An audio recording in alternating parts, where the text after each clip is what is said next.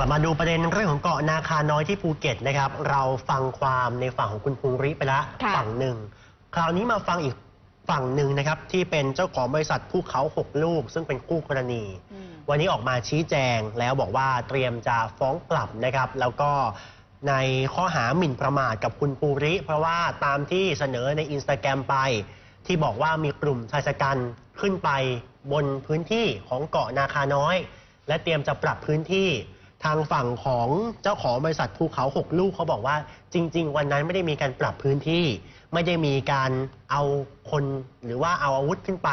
ในเกาะนาคาน้อยนะครับ ค่ะเป็นเพียงแค่การปรับทางเดินเท่านั้น ไม่ได้มีการตัดต้นไม้ อืม แล้วก็ไปลงบันทึกประจำวันเอาไว้แล้วนะครับ ที่สพถลางตั้งแต่วันที่ 4 เมษายน วันนี้ก็เลยมาแจ้งความเอาผิดครับในข้อหาหมิ่นประมาท ตามความผิดของพรบคอมพิวเตอร์ แล้วก็มีการชี้แจงด้วยบอกว่าการซื้อที่ดินมาเนี่ยก็ซื้อมาถูกต้อง แต่ว่าก่อนหน้านี้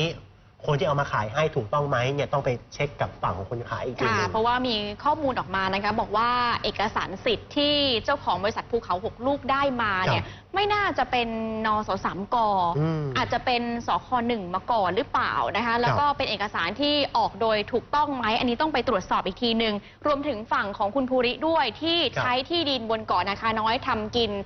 มี 53 ไร่ในอืมพื้นที่นี้ก็ต้องไปดูกัน แล้วกระแสข่าวที่หน่วยงานรัฐบอกว่าจะใช้มาตรา 44 เข้าไปคุ้มครอง ไม่ให้ดำเนินการใด ๆ ในที่ดินที่กำลังเป็นข้อพิพาทอยู่ในขณะนี้ครับคุณชาญวิทย์ก็บอกว่าตามความเห็นของตัวเองเนี่ยมันคงไม่ต้องทำถึงขนาดนั้นแล้ว เพราะว่าเขาก็ไม่ได้เข้าไปปรับพื้นที่อะไรตอนนี้ ก็ไป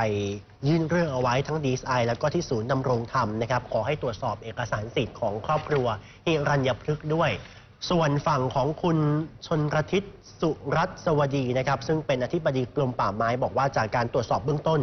พบว่าเอกสารสิทธิ์สคหนึ่งที่เปลี่ยนมาเป็นนสสามกที่บริษัทภูเขาหกลูกครอบครองอยู่นั้นน่าจะไม่ใช่ของจริงค่ะน่าจะเป็นเอกสารสิทธิ์ของที่อื่น อาจจะเป็นเกาะนาคาใหญ่ ซึ่งอยู่อีกเกาะหนึ่ง แล้วก็บอกนะฮะว่าในเอกสารฉบับนี้มีการขยายพื้นที่เพิ่มเติมด้วย คงจะต้องมีการตรวจสอบกันต่อไปอะก็เป็น ข้อมูลจากสองมุมครบถ้วน แต่ว่าข้อมูลใคร